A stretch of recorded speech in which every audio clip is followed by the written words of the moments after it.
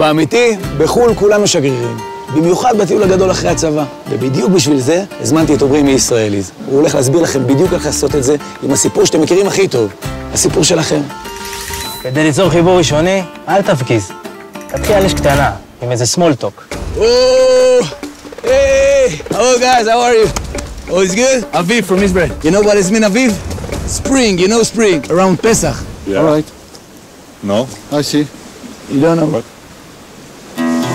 לשתף סיפור אישי, זה דרך מצוינת לייצר חיבור עם הצד השני. That's it. I never saw her again.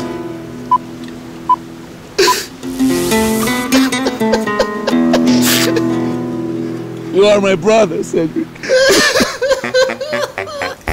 קבל עכשיו טיפ קצר וחשוב, הקשבה. כן, אני תמיד אומר את זה, שתדע לך, אני תמיד אומר. תקשיב, תקשיב שנייה.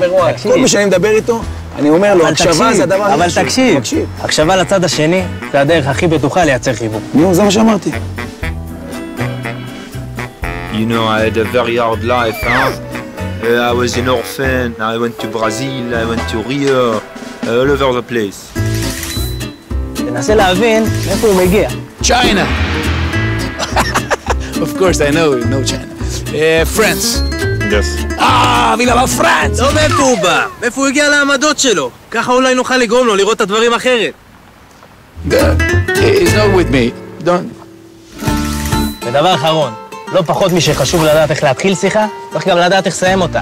I will see you in Tel Aviv, huh, in Israel. Uh, I will take you to the desert, Eilat, Jerusalem. Ah, are you living? But I'm gonna see you in Israel, huh? You write my number, you have my Facebook, my Instagram, okay? Bye, bye, it was great. איזה חמודים, יאללה. אלה עכשיו שלנו. רוצים לקבל עוד כלים לספר את הסיפור האישי שלכם ושל ישראל, אבל הכי באמיתי, אה, עמרי, באמיתי זה שלי. חפשו ישראלית בגוגל. אל תעשה את הקטעים האלה יותר, בסדר?